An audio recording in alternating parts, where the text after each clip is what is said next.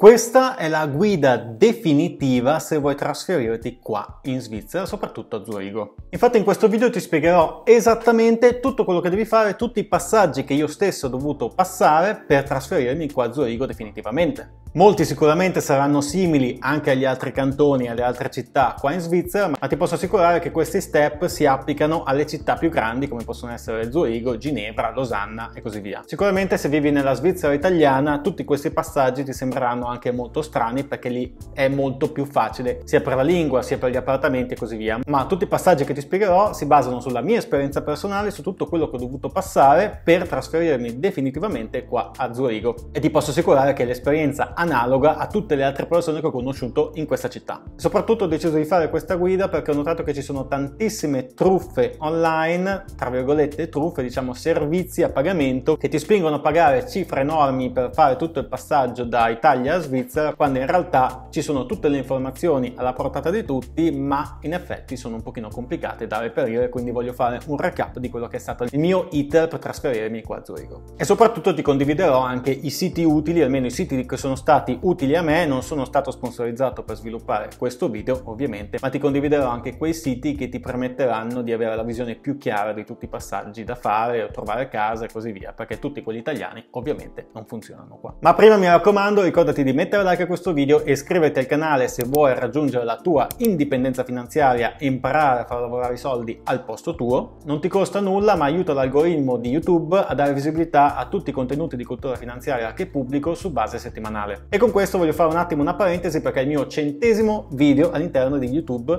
Ormai sono ben due anni e qualcosa che ho deciso di pubblicare video all'interno di questa piattaforma, quindi aiutami a festeggiare ancora di più questo traguardo mettendo like e iscrivendoti al mio canale. Premessa, prima di vedere tutti gli step da seguire, questa guida è valida per le persone fisiche. Io personalmente ho anche trasferito, quasi finito di trasferire la mia partita IVA, ancora sto cercando di capire se è il caso di aprire attività oppure uh, partita IVA separata sto valutando Magari farò una guida separata anche per quello. Ho chiuso la mia partita IVA in Italia il 31 dicembre del 2022. Se vuoi vedere cosa ho pagato l'anno scorso, fai questo video. Magari farò un video anche su tutte le tasse che ho dovuto effettivamente pagare aprendo e chiudendo la mia partita IVA in Italia dopo due anni e mezzo.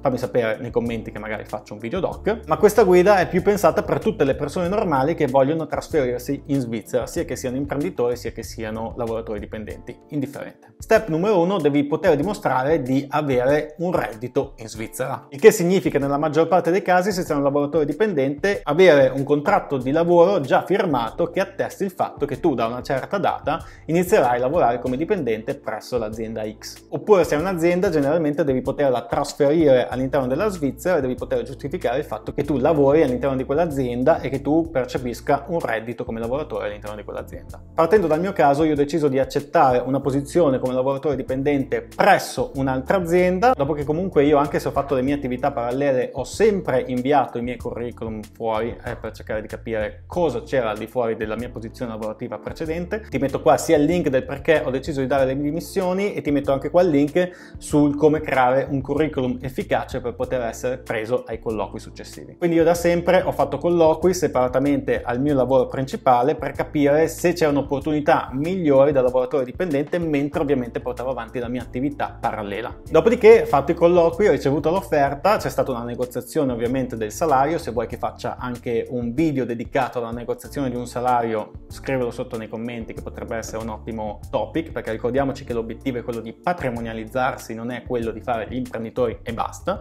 Vi ho spiegato perché all'interno del video precedente. Quindi come si fa a trovare lavoro qua in Svizzera? Sicuramente deve avere un profilo LinkedIn ben strutturato, così come un curriculum ben strutturato, ti ho spiegato come fare all'interno del video precedente. Soprattutto devi sapere l'inglese per tutte le posizioni, ma Diciamo che la maggior parte delle posizioni richiede il tedesco, nel mio caso non richiede il tedesco, quindi è stato anche più facile, tuttavia lo sto studiando adesso perché se nel caso un giorno decidessi di cambiare lavoro e continuare a fare lavoratore dipendente in Svizzera, sicuramente o quasi sicuramente nel 90% dei casi ad oggi è richiesta la lingua tedesca. Però se già parli tedesco non avrai problemi. Questo vale ovviamente per Zurigo, però se vai a Lugano la situazione sarà molto più facile perché si parla italiano, mentre se vai nella, nella Svizzera francese, se parli francese sarà ancora più facile. Però tornando al punto principale, primo passo per trasferirsi in Svizzera devi avere un contratto di lavoro firmato che dica che a partire da una certa data tu inizierai a lavorare. Secondo passo, bene, hai trovato un lavoro, hai il contratto di lavoro firmato, sai quando iniziare a lavorare, devi trovare casa. Ora qua ci sono ben due casi. Caso 1 è quello più facile, il caso in cui l'azienda ti aiuti a trasferirti qua in Svizzera, quindi ti dia casa e così via. Secondo caso invece è quando devi fare tutto da solo o comunque magari l'azienda ti dà un pacchetto per trasferirti qua in Svizzera, un pacchetto monetario si intende per trasferirsi qua in Svizzera. Io consiglierei il primo caso se si può fare personalmente sulla base della mia esperienza, ma in più delle volte ti daranno il secondo pacchetto. E qua c'è da sapere una cosa, che se tu non hai un permesso di soggiorno, non puoi applicare per le case, soprattutto nella Svizzera francese e tedesca. Forse è diverso nella Svizzera italiana. Questo perché la maggior parte delle case sono di proprietà o comunque sono gestite da delle agenzie che vogliono delle garanzie, quindi se tu ancora non hai un permesso di soggiorno non puoi fare application, non puoi fare domanda per una casa che è andata in affitto. E c'è un'altra pecca che il permesso di soggiorno te lo danno quando hai una casa e non puoi venire qua in hotel o in un Airbnb, da quanto mi avevano detto tutti, per ottenere appunto il permesso di soggiorno. Per avere un permesso di soggiorno, per fare domanda per un permesso di soggiorno, ti servono ovviamente il contratto di lavoro e un contratto di locazione. Quindi come cavolo si fa a ottenere questa casa e il permesso di soggiorno? Prima di tutto devi cercare una casa temporanea. Almeno quello è quello che ho fatto io ed è la casa in cui mi trovo in questo momento, anzi questo è l'ultimo video che giro all'interno di questa casa perché poi ho trovato casa e mi trasferirò. Quindi come si fa in questi casi? Generalmente c'è, dato che qua è molto comune il fatto di fare un sabbatico per qualche mese, mese da parte delle persone che vivono già in Svizzera, non mollano la casa, ti fanno un contratto di subaffitto, tu subentri, come è stato nel mio caso,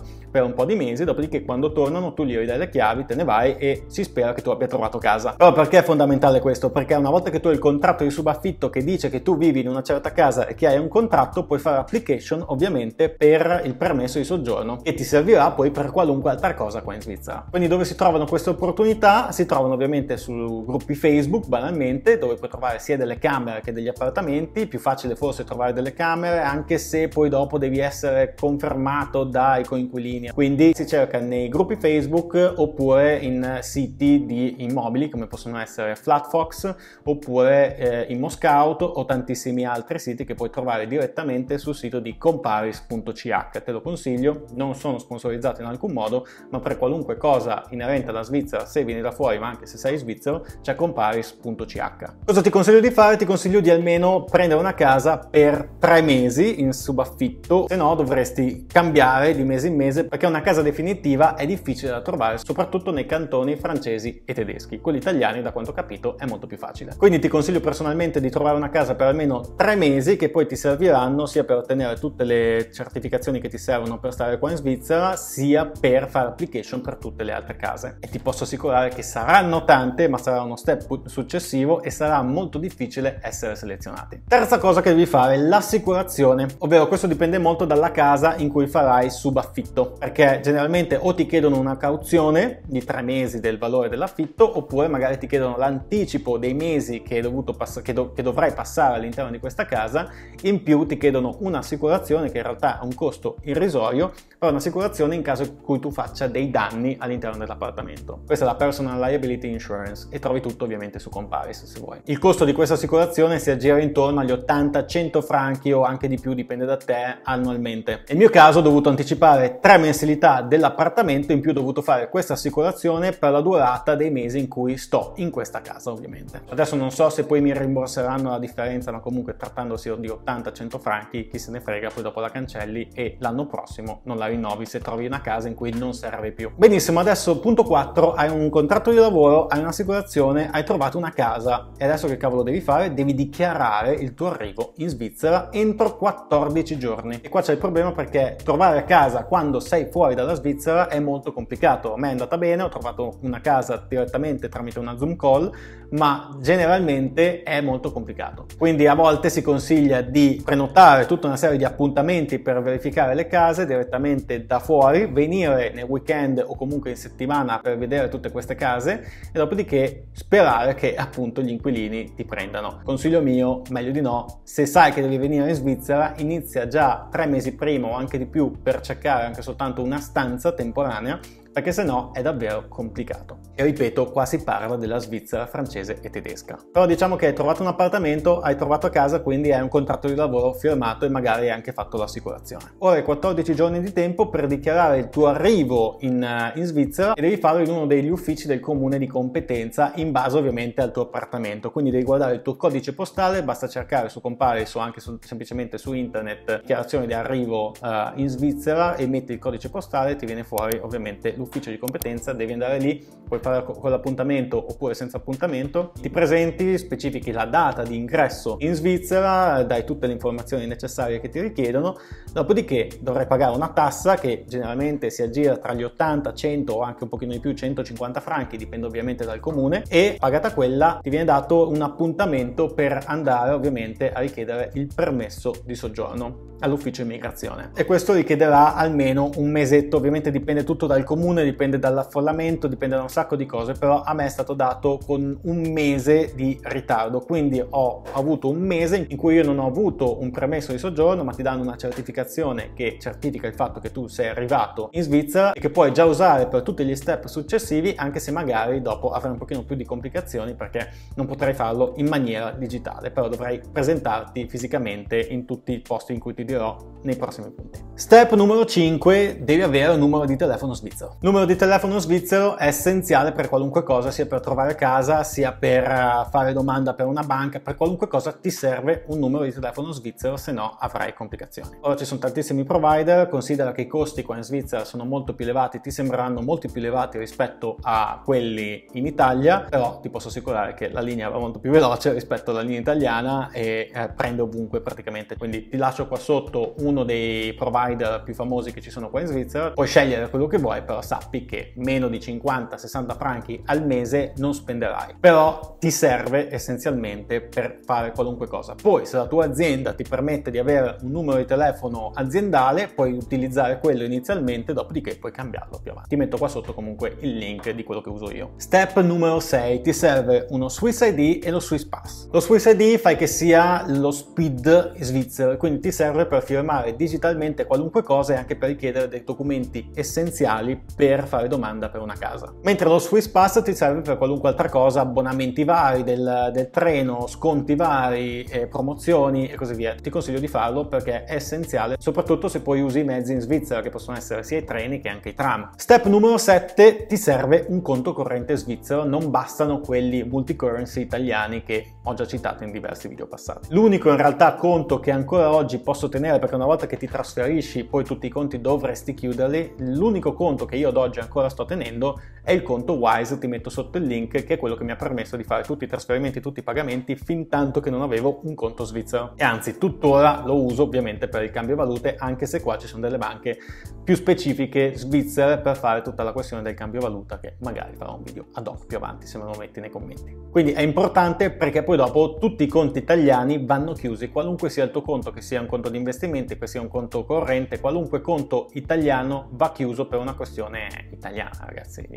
Per avere un conto normale italiano devi avere residenza italiana, ma se ti trasferisci in Svizzera devi avere residenza svizzera, non puoi più tenere quel conto con residenza italiana, dovresti aprire un conto con residenza estera per l'Italia ti costerà di più, ma vabbè, verranno chiusi e potresti correre il rischio, una volta che hai trasferito la residenza, che ti chiudano il conto improvvisamente e ti chiedano di passare per ritirare un assegno che ti permetta poi dopo di ritirare tutti i tuoi soldi. Ora qua c'è una questione sia per il numero di telefono che per il conto in banca o per qualunque altra cosa, se ancora non hai ottenuto il permesso di soggiorno dalla Svizzera una volta che arrivi, fai come ti ho detto prima, una volta che fai tutti i passaggi che ti danno appuntamento per ottenere il permesso di soggiorno, se ancora non ce l'hai come è stato nel mio caso che devi aspettare un mese prima di ottenere il permesso di soggiorno e hai un uh, foglio che attesti che sei arrivato in questo paese, quello che puoi fare è recarti di persona nella banca, nell'ufficio, nello store dei telefoni in cui presenti questo documento e allora puoi fare richiesta ovviamente del numero di telefono, del conto corrente e così via. Se no non puoi farlo digitalmente. E anzi una volta che otterrai ovviamente il permesso di soggiorno dovrai condividerlo all'interno di questi servizi delle banche, della compagnia telefonica e così via. Però per fare tutto subito puoi già usare quel foglio che ti danno. Sul tema della banca, quale banca scegliere? Ce ne sono tantissime, dipende dai servizi che cerchi tu. Sta a te scegliere in base alle tue preferenze, in base ai servizi che, che, che danno. Io mai magari più avanti farò, metterò un link di quelle che uso io, però diciamo che più o meno sono tutte analoghe. Magari andrai a vedere quali sono quelle che costano di più, quelle che costano di meno, con i servizi paragonabili. Fatta la banca, hai un conto in banca finalmente Consiglio personale, ti salverà la vita, fai un conto Twint. È un'app che ti permetterà di fare qualunque tipologia di pagamento in un secondo. Non mi è mai capitato di pagare qualunque cosa nel giro di un secondo, effettivamente un secondo. Ma questa viene anche utilizzata per qualunque altra cosa, promozioni, scambio di soldi tra amici. Non l'avevo mai sentita prima, ma qua in Svizzera è utilizzata da tutti praticamente. Step numero 9, la cassa malati, l'assicurazione sanitaria. Questa va fatta entro tre mesi dalla data di arrivo, ovvero la data che comunichi che sei arrivato al comune di, di, di competenza. Ora l'assicurazione sanitaria è obbligatoria e parte dalla data di arrivo, quindi cosa significa? Che se come nel mio caso sei arrivato il 17 gennaio e attivi l'assicurazione dopo due mesi, tu comunque pagherai tutto dal 17 gennaio, ovvero dalla data in cui sei arrivato. Ovviamente lo pagherai a posteriori, però la devi scegliere e se non la scegli, ovviamente ti verrà assegnata in maniera automatica e non è detto che ti verrà assegnata quella più adatta, ovviamente, alle tue richieste. Quella di base deve essere scelta da tutti, dopodiché c'è un'assicurazione complementare che puoi, puoi, modificarla come vuoi, ma la cosa bella è che tu puoi modificarla di anno in anno in base ovviamente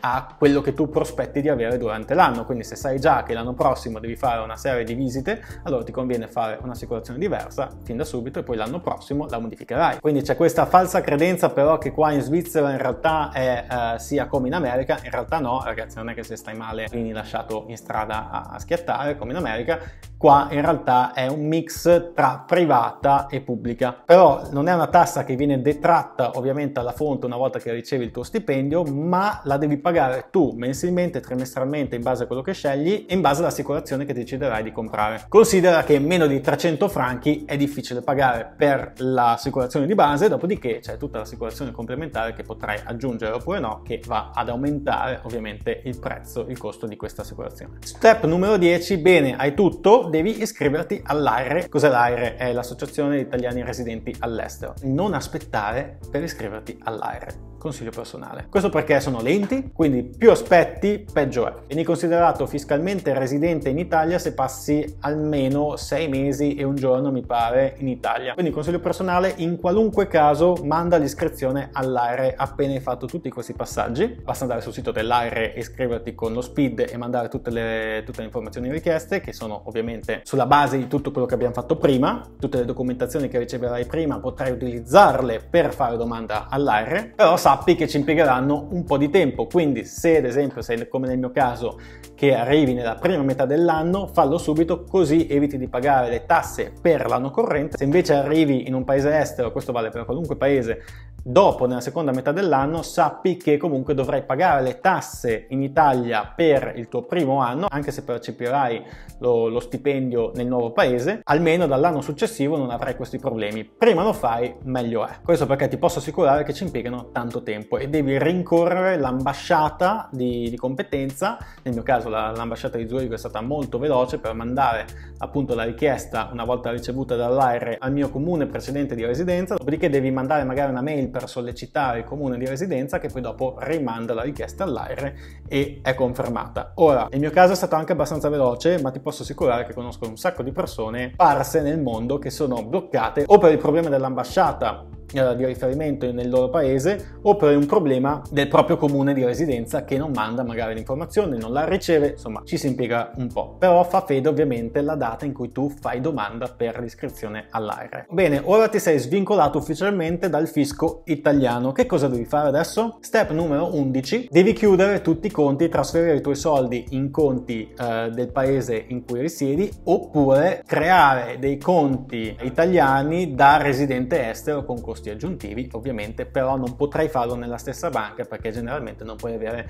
due conti associati alla stessa persona nello stesso momento, sia da residente che da non residente, giusto che tu lo sappia. Questo vale anche per i conti deposito, vale anche per i conti di investimento, magari c'è la possibilità di modificare il proprio conto direttamente sul sito uh, del, broker, vai lì e dici che sei residente estero, non è sempre così, più delle volte dovrai chiudere e trasferire tutti i tuoi titoli da un broker all'altro. Io personalmente colgo l'occasione per trasferire i miei titoli da De Giro che utilizzavo prima in parte sia per le azioni sia, per, sia per gli ETF. Adesso ho chiesto il trasferimento dei miei titoli in Interactive Broker, li metto sotto il link, e una parte li trasferirò al De Giro svizzero. Quindi da oggi utilizzerò due broker, uno specifico per la parte ETF, uno specifico per la parte azioni. Ti metto ovviamente sotto i link di entrambi questi broker così che anche tu possa aprirli funzionano anche in Italia, giusto che tu lo sappia. Quindi se vorrai utilizzare questi broker da cittadino italiano lo puoi fare, ti metto sotto i link e ovviamente se vuoi avere una cultura finanziaria e capire come fare ho fatto sia un corso, una guida gratuita e ti mando qua il link ai, ai video gratuiti. Bene, adesso possiamo fare domanda step 12 per una casa più di lungo termine come ho fatto io. Io adesso mi sto per trasferire, quindi come ho detto questa è l'ultima volta che vedrai questo setting, cambierò casa a breve, dovrò fare tutto il trasferimento,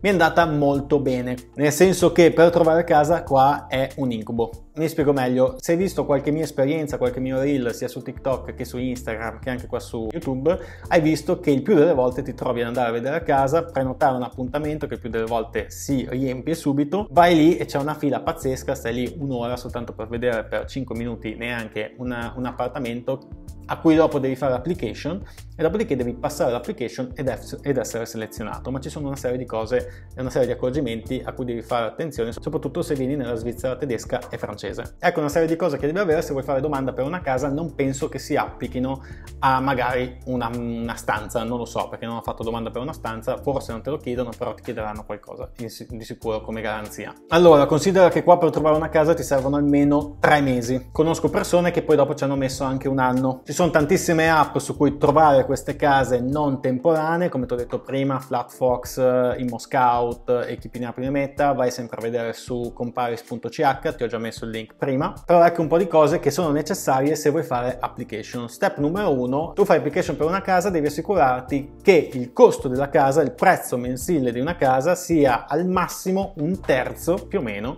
del tuo stipendio lordo, il che significa che se tu fai domanda per una casa che vale 2000 franchi al mese, adesso magari dici oh, è tantissimo, è tantissimo, no ragazzi, lo standard è dai 2000 ai 3000 di base, come case qua a Zurigo, però se fai domanda qua per una casa che costa 2000 franchi al mese, devi almeno guadagnare lordi grossi, come si dice qua, 6.000 eh, franchi al mese. Se no proprio non vieni considerato e quando fai application devi mettere appunto il tuo stipendio lordo annuale. C'è anche da dire un'altra cosa che per mantenere la domanda stabile se tu guadagni troppo e fai una domanda per una casa che costa troppo poco molte volte non ti accettano apposta perché vogliono dare la possibilità a chiunque di ottenere quella casa, anche a gente che magari guadagna di meno. Però non è detto che sia sempre così, dipende ovviamente dall'agenzia a agenzia e dipende anche dalle referenze perché ad esempio nel mio caso io sono stato consigliato dalla persona che era già all'interno di questa casa ed ero l'unico ad aver fatto domanda. Quindi significa che questa casa non era ancora stata listata e in base alle tempistiche eccetera l'azienda preferisce magari accettare subito e avere un cash flow immediato piuttosto che prendere un'altra persona più tra virgolette adatta. Quindi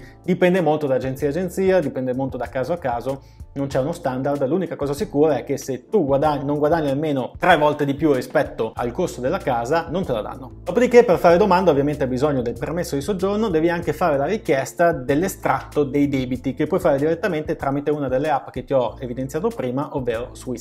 Con quella lo paghi, sono circa 30 franchi, di dura 3 mesi e per quando fai application la devi inserire ovviamente all'interno dell'application per capire se hai dei debiti in essere praticamente. Dopodiché devi considerare una serie di cose quando fai domanda per una casa. Il più delle volte ti viene richiesta una caparra di almeno 3 mesi un po' standard, quindi se la casa ti costa 2000 franchi generalmente dovrai pagare in anticipo 6000 franchi, però c'è un altro servizio che io ho deciso di utilizzare che si chiama uh, Swiss Caution, ma ci sono tantissime altre aziende che lo fanno, è un'assicurazione che tu paghi annualmente e si prende carico, tra virgolette, della cauzione al posto tuo. Cosa significa? Significa che tu non devi mettere fermi, in questo caso specifico facciamo esempio dei 2000, non devi fermare 6000 franchi, anche se dopo ovviamente te li ridanno con un minimo di interesse, ma hai la, hai la possibilità magari, come spiego in tantissimi dei miei video precedenti, di prendere quei soldi, metterli a rendita e se ti danno un interesse maggiore, ovviamente ti ripaghi sia il costo annuale di questa assicurazione, sia ovviamente hai un minimo di guadagno, perché ricordo che qua in Svizzera non si pagano tasse sul capital gain. Quindi, come dico sempre, se hai una cultura finanziaria riesci a far rendere i tuoi soldi di più dei tuoi costi, tanto vale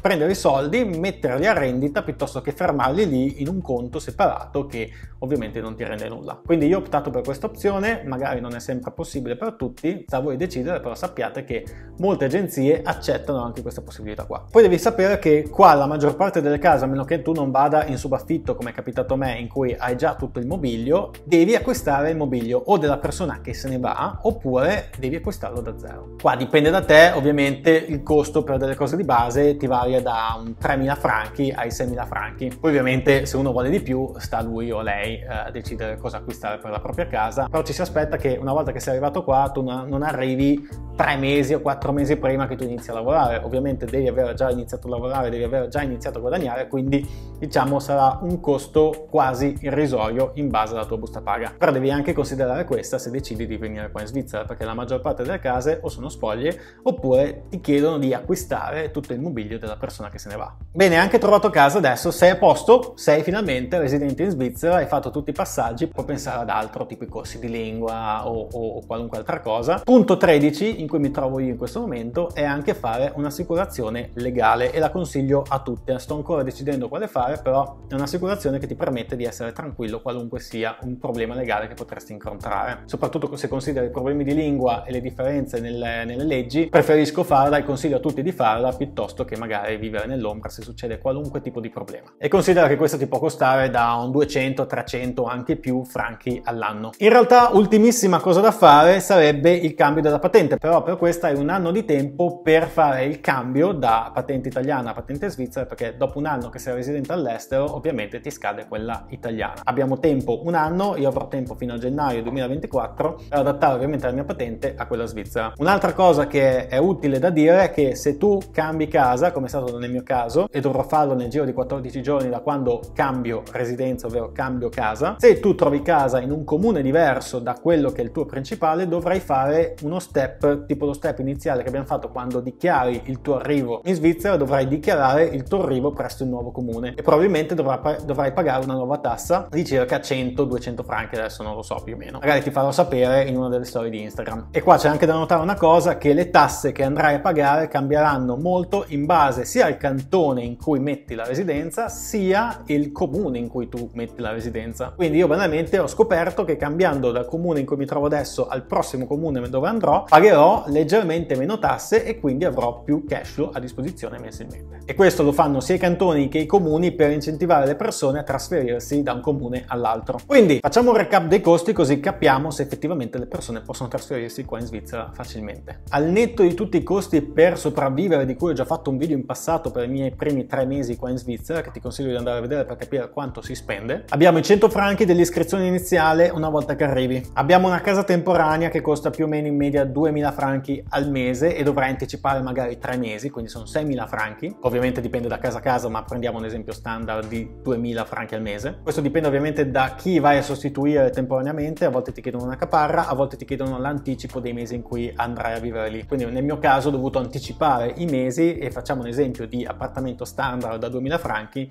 pagheresti 6.000 franchi subito. Poi c'è da pagare subito la cassa malati, prendiamo un esempio standard di 300 franchi al mese. Quindi da subito dovrai pagare 300 franchi. Poi c'è l'assicurazione sulla personal liability che sono circa 100 franchi all'anno, ma lì devi ovviamente sborsare subito. Poi c'è il costo del telefono, se la tua azienda non te lo dà, devi anticipare ovviamente il primo mese perché sennò non riesci a fare niente, sono circa 50 franchi al mese. Poi una volta che avrai trovato casa dovrai sborsare subito la caparra della casa successiva, oppure devi pagare l'assicurazione per la caparra della nuova casa, quindi che facciamo che sia un ulteriore 300-400 franchi per l'esempio precedente dei 6.000 franchi di caparra, perché ovviamente varia in base al valore della caparra. E poi c'è il mobilio della nuova casa che devi sborsare liquido praticamente subito che varia dai 3.000 ai 6.000 franchi, facciamo. Quindi ipotizzando la situazione migliore, circa dovrai avere subito liquidi a disposizione per qualunque evenienza per quando ti trasferisci qua in Svizzera circa 10.000 franchi per fare qualunque cosa al netto di trasporti, costo della vita e così via. Questo minimo per andare sul sicuro deve avere almeno 15-20.000 franchi liquidi sul conto disponibili per qualunque tipo di transazione tu debba fare nel giro del primo mese barra i primi tre mesi in Svizzera. Questo sempre al netto del costo della vita o dei trasporti per venire qua in Svizzera e così via. Quindi se andiamo a vedere i dati sui conti correnti degli italiani, in media gli italiani non potrebbero trasferirsi in Svizzera ma anche in un paese estero al nord dove la vita costa molto di più rispetto che l'Italia. Questo perché devi avere subito liquidi dai 10 ai 20 mila franchi e devi sborsare per qualunque cosa per sopravvivere e in Italia in media il 70% degli italiani hanno circa 12 mila euro liquidi nei conti correnti. Questo al netto di eventuali fondi di rischio e qualunque altra cosa. Non so se questo dato prende in considerazione anche queste informazioni, però ovviamente se tu hai soltanto 10.000 euro, 12.000 euro, non ha senso trasferirsi qua in Svizzera perché c'è proprio il problema di se succede qualcosa al di fuori di tutti questi costi che devi prevedere, ovviamente non sei in grado di sopravvivere. Quindi se vuoi stare tranquillo, per trasferirti qua in Svizzera come minimo devi avere 20.000 euro liquidi sul conto pronti per qualunque evenienza che magari considerano anche il tuo fondo di rischio, ti mando qua il link così vai a vedere di cosa si tratta. Poi una volta che inizierai a guadagnare qua in Svizzera, dato che la maggior parte degli italiani comunque sono dei risparmiatori, anche se comunque non hanno una cultura finanziaria, starai tranquillo perché comunque gli stipendi qua in Svizzera sono molto più elevati. Ovviamente sì, ci sono molti più costi come abbiamo visto, però ti posso assicurare che la percentuale di quello che riesci a mettere via se sei bravo in Italia, qua riesci a mettere via anche molto di più. Poi se vuoi investire, tanto meglio. Quindi se hai domande particolari scrivile sotto nei commenti, io avrei pagato per avere una guida così specifica su tutti i passaggi da affrontare una volta che uno decide di trasferirsi in Svizzera. Spero vivamente che questo ti aiuti sia a capire effettivamente come fare trasferirti in Svizzera, sia per evitare di essere preso da degli scam che ti spingono a pagare per trasferirsi in Svizzera. Per qualunque altra cosa che non ho trattato, ti consiglio di andare a vedere il sito di comparis.ch, c'è in qualunque lingua, anche in italiano, anche se magari l'italiano non è il massimo, però c'è in inglese sicuramente. Questo video non è stato in alcun modo sponsorizzato da tutti questi siti che ti ho citato all'interno di questo video, quindi apposta per questo motivo like e l'iscrizione a questo canale direi che è d'obbligo. Quindi mi raccomando, cosa aspetti? Metti like iscriviti a questo canale, scrivi nei commenti tutte le tue domande o argomenti che vuoi che approfondisca e ci vediamo in un prossimo video. Ciao!